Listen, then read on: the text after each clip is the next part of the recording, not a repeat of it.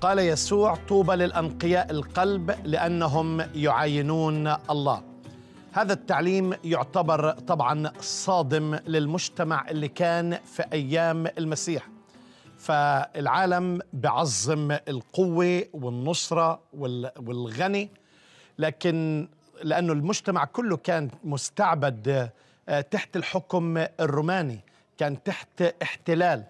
ففكرة القلب النقي وإنك تتعامل بنقاوة وبطهارة كانت عملة نادرة. وعدا عن ذلك مش بس إنه الشعب كان مستعمر تحت الاحتلال الروماني فالمسيح هاجم رياء الفريسيين والمتدينين اللي بركزوا على الأمور الخارجية. يعني وصفهم من داخل الكأس أو داخل القبر نجاسات. يمكن تبدو من من برا مبيضة قبور مبيضة كل شيء جميل. وكل المظاهر تبدو براقة جذابة لكن إيه اللي مع الجوه فالقلب فعلا أخدع من كل شيء بينخدع الإنسان يمكن في المظهر لكن الله بينظر للقلب وبينظر للجوهر.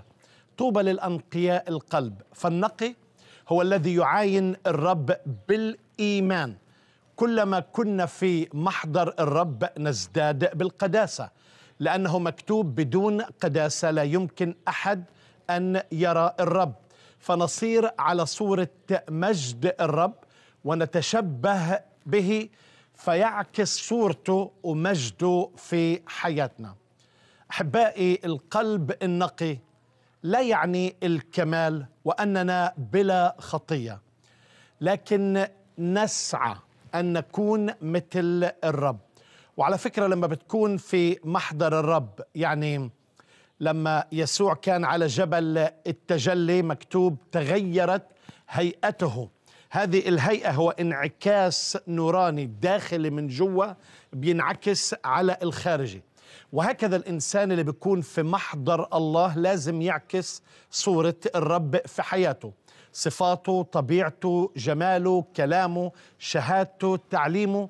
يعني تصبح مسيح صغير إن صح التعبير على الأرض. الناس بتشوف نتائج والثمر حياتك المتغيرة والقلب المتجدد من من جوا.